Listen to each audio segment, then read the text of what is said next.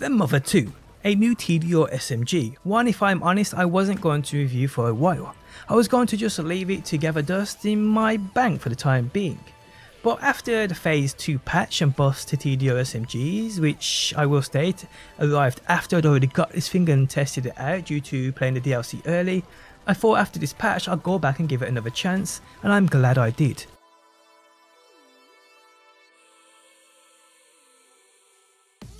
How's it going guys, my name's DPJ and today I bring you another BL3 video. If you do enjoy it, leaving a like really helps out and subscribe if you do want to see more. So the Mothertoo is a new Tediore SMG which arrived with the Bounty of Blood DLC. It is a weapon I believe drops offering all elements or no element as they will drop but its dedicated boss drop is Slithermaw who is located on the blast plains. Located to this boss you will find towards the end of the video. So looking at this thing in action, you can see it fires a constant laser beam, which actually guys is pretty powerful now.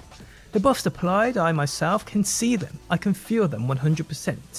It comes in all elements and also no elements. The no element version by far is the most powerful though, and you can also get this thing in a plus version too.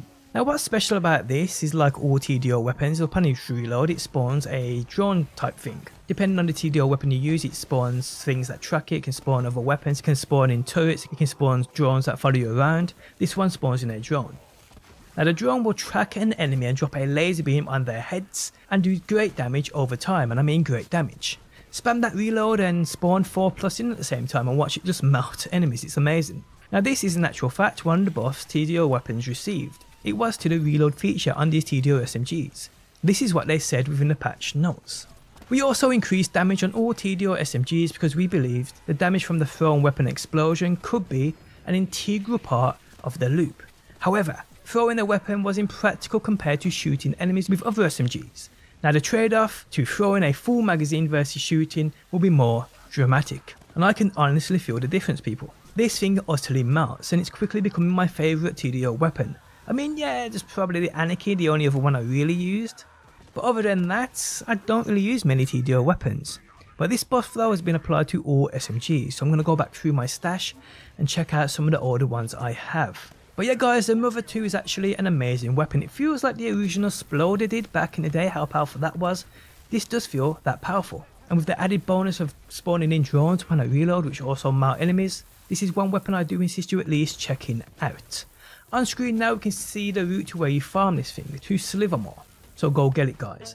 On that note, we have come to the end. If you guys enjoyed it, leaving a like really helps out. If you're new around here and want to see more Borderlands, be sure to subscribe. And if you never want to miss a video I upload, you can turn notifications on by hitting that bell button. But guys, thanks as always for stopping by. Hopefully you enjoyed the video and hopefully I will see you on that next one.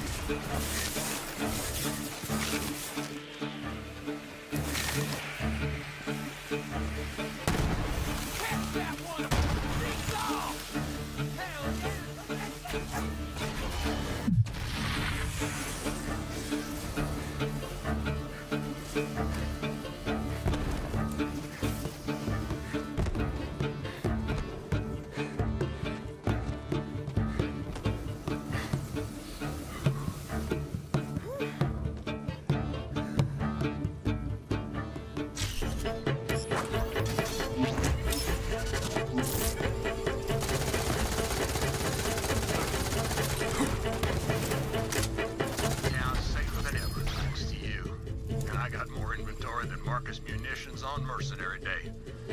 Check your mail. I'm sending you a little project I've worked up as a show of thanks.